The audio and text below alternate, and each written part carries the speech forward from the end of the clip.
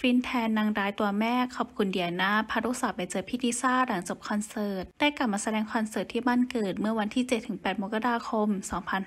2566 สำหรับลิซ่าที่นำทีมเพื่อนร่วมวงอีก 3 คนมาแสดงคอนเสิร์ต เปิดเอเชียทัวร์แต่หลังจากที่จบคอนเสิร์ตแล้ว ลิซ่าและบรรดาเพื่อนสนิทสัญชาติไทย ก็ได้ไปดินเนอร์กันแบบเล็กๆ ซึ่งหนึ่งในนั้นก็มีเดียร์น่ารวมอยู่ด้วย ซึ่งงานนี้เดียร์น่าได้พาน้องลียา ลูกสาวของธัญญ่าไปด้วยล่าสุด 12 มกราคม